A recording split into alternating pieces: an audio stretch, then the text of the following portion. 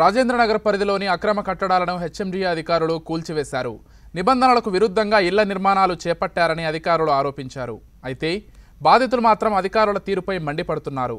యాభై ఎనిమిది యాభై తొమ్మిది జీవోల ద్వారా రెగ్యులరైజ్ చేయించుకోమని ప్రభుత్వమే చెబుతుందన్నారు. అధికారులు మాత్రం ప్రభుత్వ ఉత్తర్వులను పట్టించుకోకుండా తమ ఇళ్ళను కూల్చివేయడం దారుణమన్నారు. ప్రభుత్వం వెంటనే తమకు న్యాయం చేయాలని డిమాండ్ చేశారు.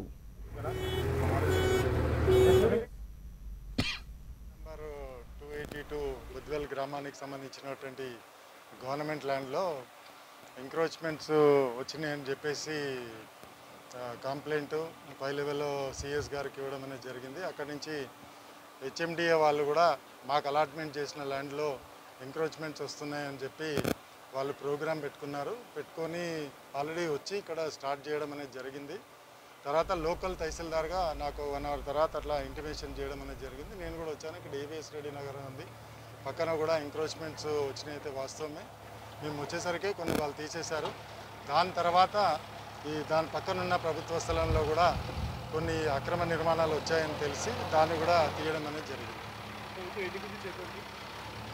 దాదాపు అక్కడ ఒక నాలుగు రూమ్లో ఏవిఎస్ రెడ్డి నగర్ దగ్గర నాలుగు రూమ్లో ఒక ఐదు కాంపౌండ్ వాళ్ళు ఉంటాయి. ఇక్కడికి ఇక్కడికి వచ్చేసరికి ఒక ఆరు